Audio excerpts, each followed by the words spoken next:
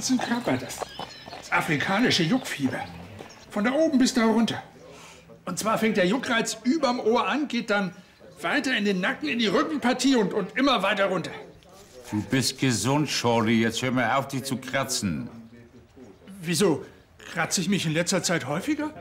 Ja, dauernd. Dann hab ich das schon. Hör auf zu grinsen, ich bin krank. Ja, du bist total irre.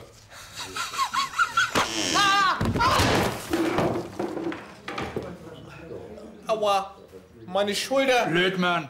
Ruf mal einer die Polizei, bitte. Aua. Ich bin der erste Mensch, der Juckfieber hat. Bisher hatten das nur die Antilopen in Tansania. Guck an. Ja, ich habe den Bericht gesehen. Und, und jetzt habe ich das auch schon.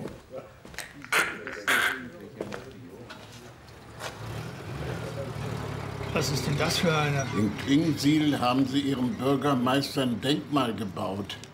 Hier, die Büste des langjährigen Bürgermeisters Horst Rottensack wurde heute in den Stadtarkaden feierlich enthüllt. Wenn wir sowas mal in Büttenwader auch mal hätten. Willst du nicht mal aufstehen? Nee, muss ja hier liegen bleiben, bis die Polizei kommt. Die müssen den Fall erst mal aufnehmen. Also an mir liegt's nun wirklich nicht, wenn das hier nicht vorangeht. Machen Sie mal, Lütt und Lütt. In Büttenwader hat sich ja seit 50 Jahren, seitdem du im Amt bist, auch nichts verändert, Bürgermeister. Und du meckerst seit 50 Jahren, Brackelmann. Und das nervt mich seit 50 Jahren. Hier, das ist Ihr Test. Hab den pH-Wert in Ihrem Bier überprüft. Der Befund ist in Ordnung.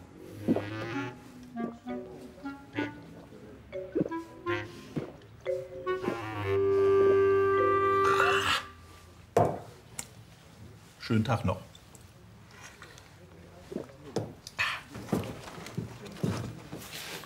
Moment mal, das, das muss ja wohl noch bezahlt werden. Die Untersuchung ist gebührenfrei. Tschüss. Hallo! Für dich? Ja. Tut das weh? Mach mal den Mund auf. Na, komm, haben Sie Vertrauen. Ich bin Arzt. Arzt? So, Schnabel auf. Ja, noch ein bisschen mehr, hä? Kann man das nicht sehen? Man muss sofort operiert werden. Hier, halten Sie mal die Lampe. So. Ja. Schnabel auf.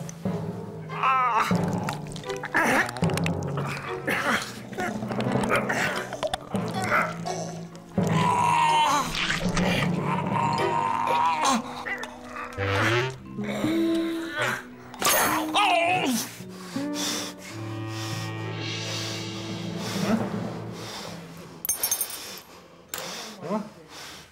Spezialtinktur zur Wundheilung und Desinfektion.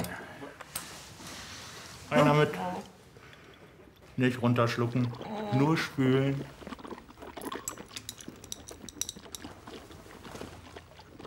So. Jetzt kommen wir mal zu meinem Honorar. Wo kommt denn der eigentlich her? DÜD? Ja, DÜD, da wohnt ein Onkel von mir. Das ist für, für Düdersen. Düdersen? Ach, ist das nicht sogar eine Kreisstadt? Mann, Mann, Mann. Nach der OP muss ich mir ganz schön die Hände schrubben. Natürlich. Das kenne ich gut. Muss immer alles schön still bleiben, hä? Ich hatte ja Dachpappe genagelt, Herr Doktor. Und dann habe ich die Nägel immer in die Zähne. Und dann ist mal einer reingefallen und den hatte ich dann vergessen. Ja, ja, ja, ja, ja. Ist ja gut, Atsche. Wir haben uns noch nicht vorgestellt.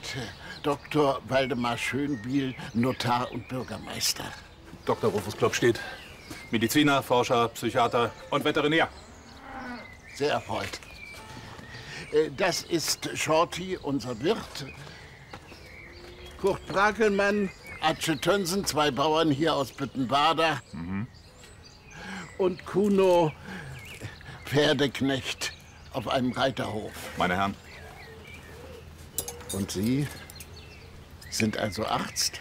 Hat er doch gesagt. Ja, hat er doch gerade. Hattest du das denn nicht gehört? Das waren noch Zeiten, Atsche, als du noch Zahnschmerzen hattest. Sind Sie vielleicht auch Ohrenarzt? Als Mensch und Mediziner ist mir keine Herausforderung fremd. Sie haben übrigens eine leichte Bindehautentzündung. Und jetzt äh, machen Sie mal Ferien? Ja, leider nicht. Ich will hier in der Gegend eine neue Praxis eröffnen. Ach, und was halten Sie da von unserer kleinen, aufstrebenden Gemeinde? Ja, kommt ganz drauf an, welche Angebote mir hier gemacht werden. Ich habe da auch noch mal eine Frage, Herr Doktor. Shorty, bitte jetzt nicht. Ich habe so einen starken Juckreiz. Kann das vielleicht das afrikanische Juckfieber sein? Das, das ist ja wohl schon sehr verbreitet. Ja. Unter den Antilopen in Tansania. Sind Sie eine Antilope? Nein. Na, da bin ich ja froh, dass mir die Antwort geben. Sonst hätte ich Ihnen ein starkes Mittel verschreiben müssen. Aber so genügt das hier. Reiben Sie sich damit dreimal täglich vor den Mahlzeiten ein. Haben Sie ihm das nicht für seine Wunde gegeben? Ja, stimmt. Das ist eine Spezialtinktur. Die habe ich selbst entwickelt. Macht 20 Euro. 20? Nehmt er und ich nehme auch eine. Das ist unsere Chance. Wie lange hatten wir keinen Arzt in Büttenwader? 20 Jahre. Mit dem Mann können wir hier was aufbauen. Ja, und wenn er morgen wieder wegfährt? Nur die Ruhe, Brackelmann, das mache ich schon. Na, das will ich aber mal sehen, du. Dr. Klopstedt wird es hier an nichts fehlen. Deswegen musste ich dieses Gebräu kaufen? Das ist doch scheißegal. Wir brauchen den Mann. Er ist stolz auf diesen Fusel, also kaufen wir den Fusel und kriegen den Mann. Danke. Shorty, unser Gast hat ja gar nichts mehr zu trinken. Unser Gast? Lütt und Lütt? Ja, Lütt und Lütt. Das ist aber auch wirklich ein sehr guter Doktor. Ne? Ja, mit dem geht das richtig los. Wenn schön will, dass man bloß nicht wieder verbockt. Also wie der den Nagel so zack aus meinem Mund raus. Erst kommt der Arzt, dann kommt die Schule, dann kommt die Familie, Autobahnzubringer, Einkaufszentrum. Jetzt kriegen wir endlich das, was wir noch nie hatten. Ja, das haben wir doch schon immer gewollt, Braggemann. Oh, hoffentlich geht er nicht wieder weg, der Doktor. Ja, da muss sich Schönbild drum kümmern.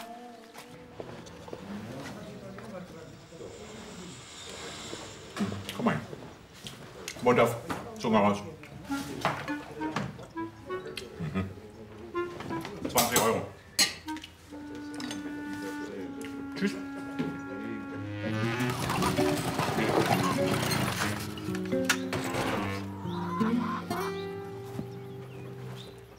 Der macht bestimmt eine Menge Geld mit seinen Behandlungen. Ja, das hat er aber auch verdient. Das ist ein sehr guter Doktor. Und sein Spezialtrunk, der, der geht auch gut weg. Ja, Herr Brumpraggelmann. Er bringt eine Menge Nennwert, du. Ja. Und wir zahlen noch oben drauf. Ja, Lütt und Lütt aus der Gemeindekasse. Das kannst du aber laut sagen. Aber es ist auch ein sehr guter Doktor. Na?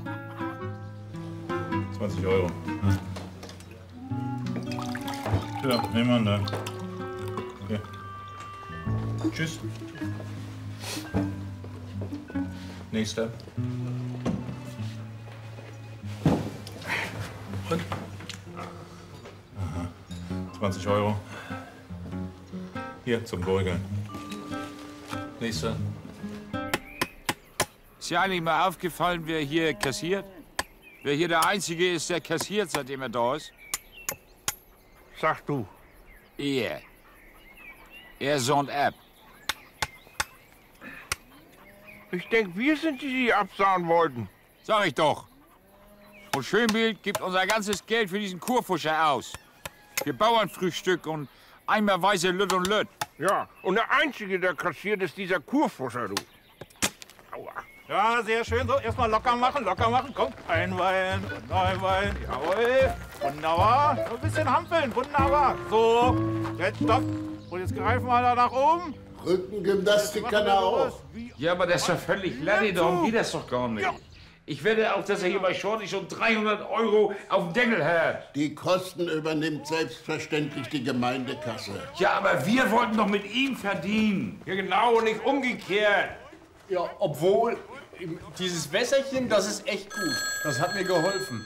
Gegen meine furchtbaren Schulterschmerzen. Hallo? Ich habe damit kalte Umschläge gemacht. Für dich, deine Frau. Ja, Ingelore? Du, ich bin hier gerade in einer Sitzung. Noch eine Flasche? Tatsächlich? Gut. Ja, bring ich mit.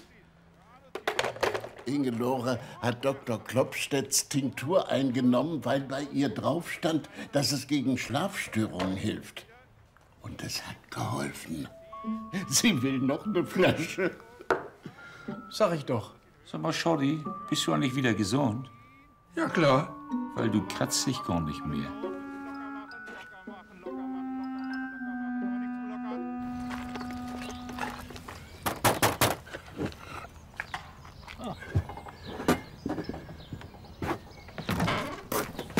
Moin.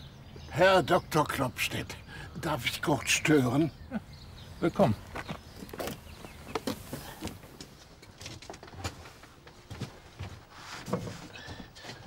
Hier? Ja, nehmen Sie Platz. Schnäpschen. Gerne. Sagen Sie, Herr Doktor, Ihre Tinktur. Spezialtinktur. Das Ergebnis jahrelanger Forschungsarbeit und die Erfahrung eines ganzen Ärztelebens. Voller Entbehrung. Macht 30 Euro. 30? Jahrelange Forschungsarbeit. Ja, ja. Diese Arbeit haben Sie aber allein verrichtet. Ja, ich habe immer alleine gearbeitet. Vollkommen alleine. Und äh, das Ergebnis äh, dieser jahrelangen Forschungsarbeit ist diese Tinktur. Eine Formel aus 84 verschiedenen Heilkräutern. Und die verkaufen Sie exklusiv. Und Sie haben das Patent. Jo.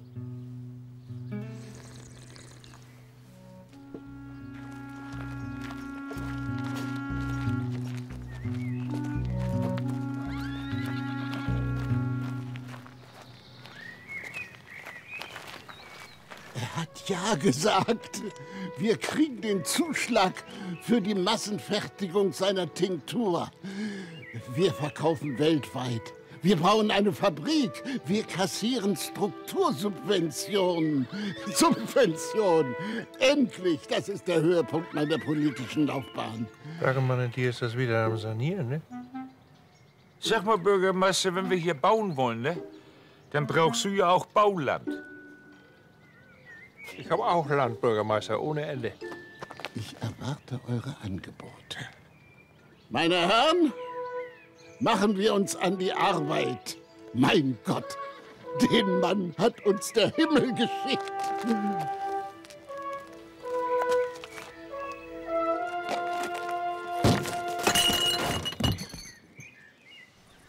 Ja, und die Straße, die wird dann natürlich doppelt so breit und teert drauf bis zum Autobahnanschluss. Und dann hinten in der Bratrupper Lönne, da kommt dann der Binnenhafen hin und dann wird die Tinktur über die Wasserstraßen in alle mal, Welt. Was bei Ihnen hier? Moin. Atsche verkauft sein Brachland an die Gemeinde. Was? Einfach so? Ja, wir müssen jetzt schnell handeln. Wir können nicht darauf warten, dass einzelne Gemeindemitglieder, die sich oft und gern mit Kritik an der politischen Führung hervorgetan haben, aus ihrem Dornröschenschlaf erwachen. Komm, Vorsicht mit den Sitzen. Ingelore hat ausgesaugt.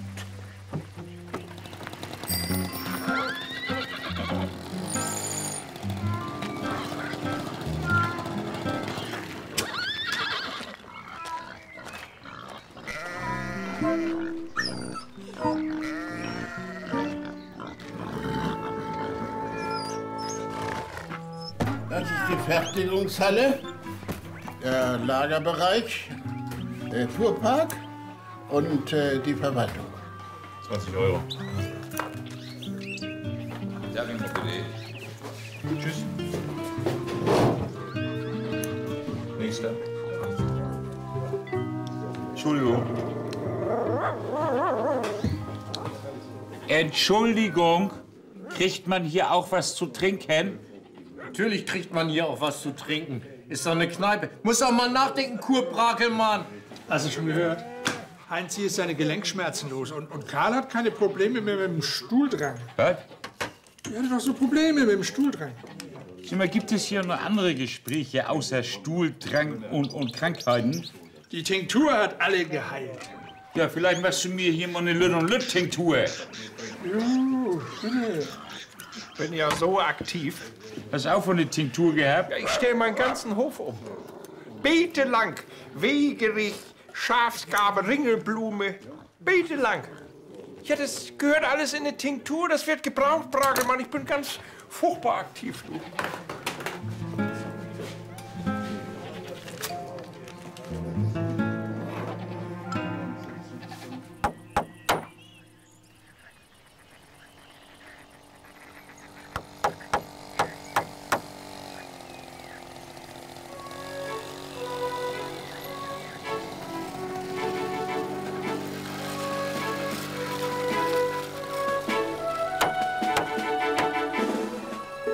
Kommst du zurück? Naja, die Präsentation wird eine Stunde dauern, äh, Diskussion danach, einmal Kiel und zurück. Ich denke, vorsichtig, so um 8 Uhr bin ich wieder da. Ein kreativer Kopf. Genau das, was hier immer gefehlt hat. Wo will er denn hin? Ich habe ihm die Erlaubnis erteilt, sein Lager am Dorfteich aufzuschlagen. Ist doch eine ganz andere Lebensqualität dort. Ja, ja, natürlich. Also, Bürgermeister, alles klar? Ich bin bereit. Viel Glück.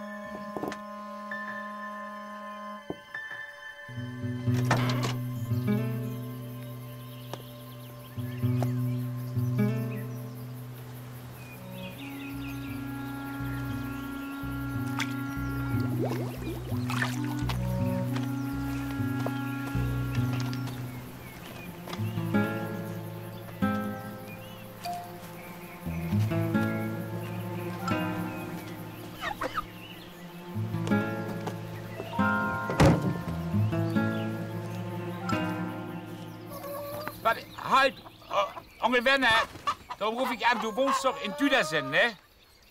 Kennst du Dr. Klopstedt? Diesen wunderbaren, wunderbaren Arzt?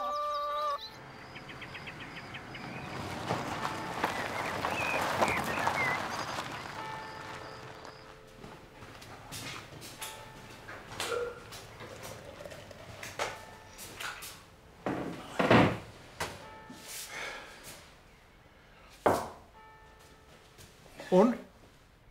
Meine Herren, Nicht gut?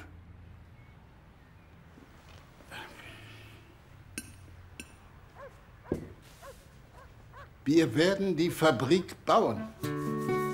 Büttenwader wird in neuer Pracht. Shorty, Lütt und Lütt für alle auf Gemeindekosten. Bravo! Ihnen, lieber und hochverehrter Herr Dr. Klopstedt, Ihnen kann ich nur gratulieren. Das Ministerium ist begeistert. Nächste Woche schicken Sie schon eine Expertenkommission. Wir müssen bis dahin nur die Tinktur an das Max-Leipold-Institut senden.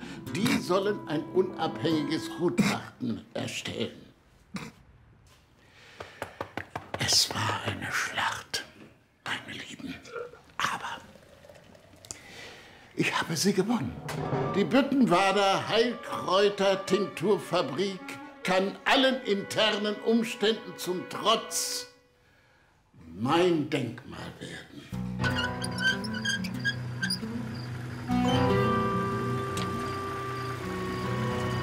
Entschuldigen Sie! Entschuldigen Sie! Würde Sie vielleicht etwas ausmachen, ein paar Zentimeter beiseite zu fahren? Ja, würde mir. Sie mussten in Düdersen Ihre Praxis schließen, weil Sie in der Sprechstunde Blumenerde aus dem Baumarkt als Moorschläge für die Hautreinigung verkauft haben. Ja. Überraschenderweise war die Wirkung gar nicht so schlecht. Kauft ihr euch? Gin Wodka.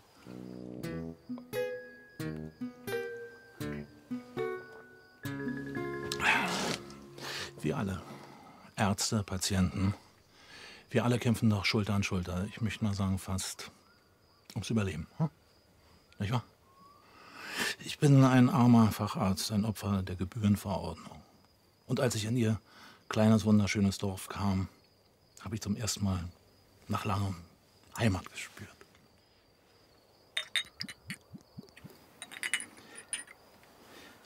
Ich habe hier vielen Leuten geholfen. Leuten, Tieren. Ich mache da keinen Unterschied. Und wenn meine Tinktur an dieses Max-Seipold-Institut geschickt wird, ja, bin ich geliefert.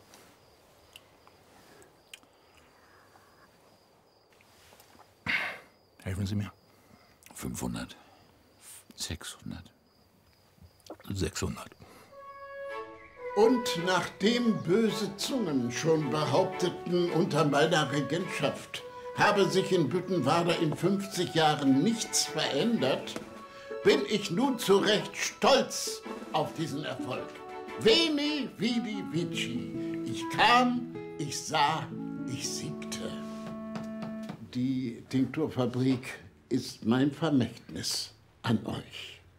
Nun sagen viele von euch, die Ära Schönbiel hätte damit einen erneuten Höhepunkt gefunden. Und es stimmt. Jetzt aber übergebe ich das Wort an den Mann, der mir in tiefer Dankbarkeit verbunden ist, denn er weiß, dass es ohne mich diese Fabrik niemals geben würde. Herr Dr. Klopstedt, darf ich bitten. Liebe Leute, liebe Bravo! Bravo!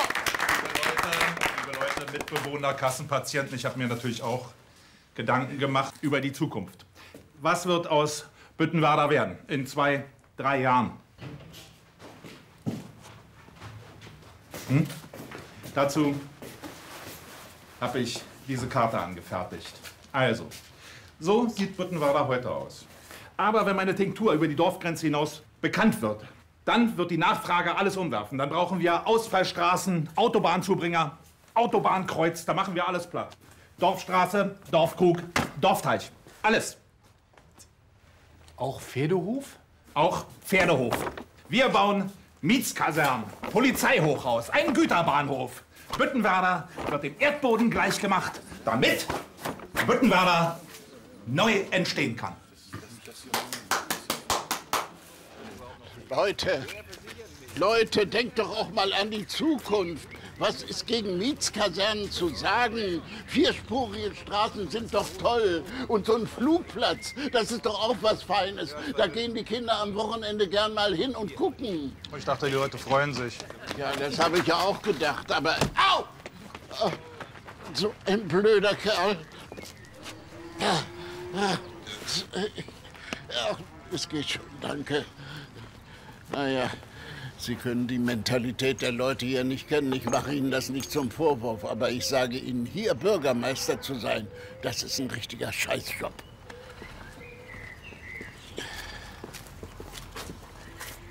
Aua! Was war das denn? Zecke. Borreliose. Kann sehr unangenehm sein. Macht 30 Euro.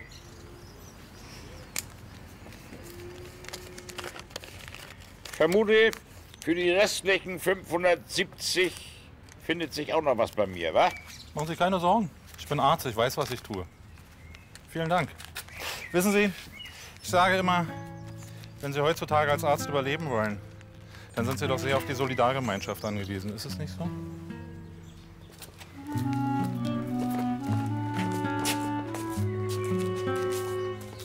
So, Bragger, was wollen wir? All die schönen Kräuterbeete, schade. Ja, oder auch nicht. Ja, Ist ja oft so, ja. ne, dass man sagt, oh, oh, das ist schade und dann sagt man, oder auch nicht. Ja, das wollte ich auch immer schon mal sagen, Braggemann. Na, da sind wir uns ja wieder einig.